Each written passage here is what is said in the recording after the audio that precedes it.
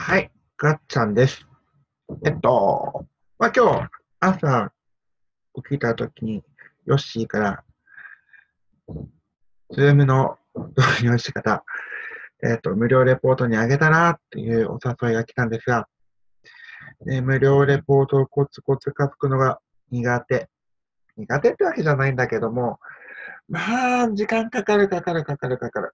と言っても3時間もあればできると思うんだけども、えっと、まあ、午前中のうちに今日なんか載せたいなと思ってたので、えっと、とりあえず、レポートの前に動画にしました。はい。で、えっと、このような、あの、操作方法を説明する動画を撮るのは初めてなんで、まあ、それはそれで勉強になったかなと思っています。で、まあ、どういう手順で撮ったかに関しては、えっ、と、おいおい、興味があれば説明し、えっ、と、説明しようと思うんですが、今日は、まず、Zoom の導入の仕方です。はい。で、えっ、と、今、会議ツール Zoom っていうのは、まあ、私のコミュとかグループでは結構よく使うんですが、使い方がわからないとか、どういう導入の仕方がわからない。まあ、そういえばね、あんまりしっかり説明もしてない気もする。まあ、そこで、えっ、と、導入の仕方と、を説明したいと思うんですが、えっとですね、はい。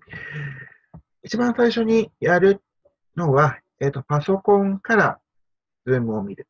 まあ、えっ、とですね、まあ、IBA に絡んでる方は、パソコンで IBA が関わることが多いと思うので、パソコンの方が便利かなと思うんですけども、まあ、あの、外に出てるときとかは iPad や iPhone、Android 端末なんかで Zoom に参加する人もいっぱいいると思います。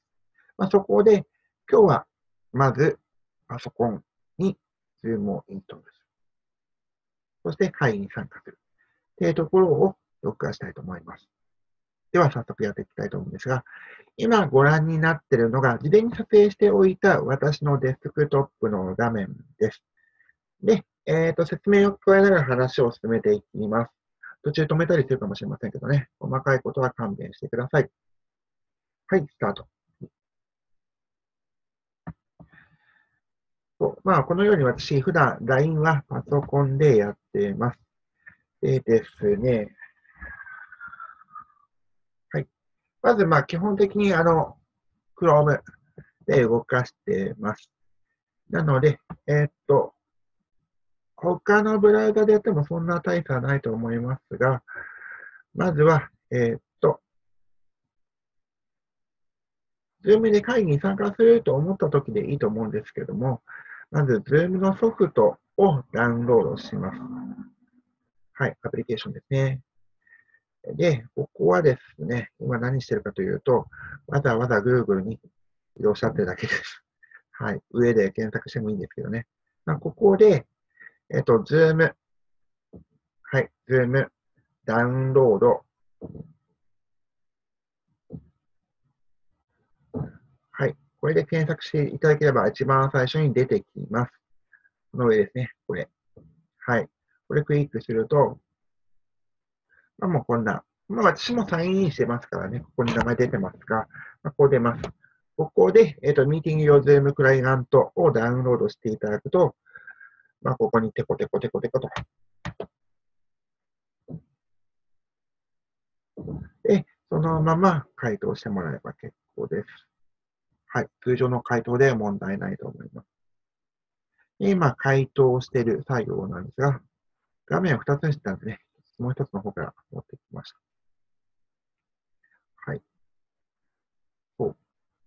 でですね、Zoom の魅力っていうと、まあ、少ないインターネットパワーの中でも、はい、出ましたね。はい。で、ミューティング参加。はい。そうすると、ここに、えっと、ユーザー名、もしくはミューティング ID、パーソナルリンクを貼りなさいというのが出るんですが、まあ、オーディオを接続しないとか自分の意図をオフにする。まあ、これは後で変更できますからね。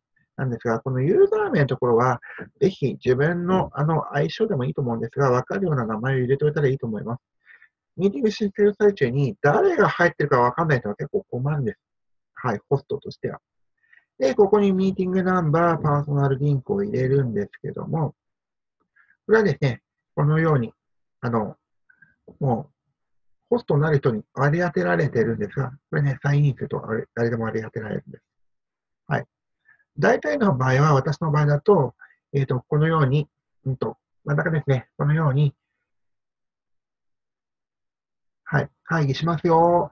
パーソナルナンバーはこうですよ。で、URL はこうですよ。っていうふうに表示してあります。なので、ここをクリックしてもらえれば、自動的に入るという仕組みなんですが、はい。